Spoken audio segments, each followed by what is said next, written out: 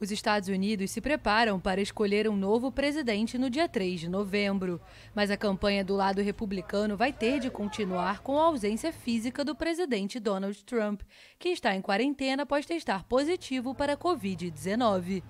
Em mensagem no Twitter, o adversário Joe Biden desejou ao rival uma rápida recuperação. O democrata acrescentou que ele e a esposa iriam continuar rezando pela saúde e pela segurança do presidente e de sua família. A primeira-dama Melania também foi infectada. Trump e Biden se encontraram em Cleveland, no estado de Ohio, na última terça-feira à noite, para o primeiro debate presidencial das eleições. Nenhum deles usou máscara, mas o posicionamento do cenário permitiu o distanciamento físico. As famílias e os convidados assistiram ao debate no estúdio, mas nem todos usavam proteção facial. Durante o debate, o republicano voltou a ironizar as preocupações adotadas pelo oponente democrata contra o novo coronavírus, dizendo que não usava máscaras como adversário.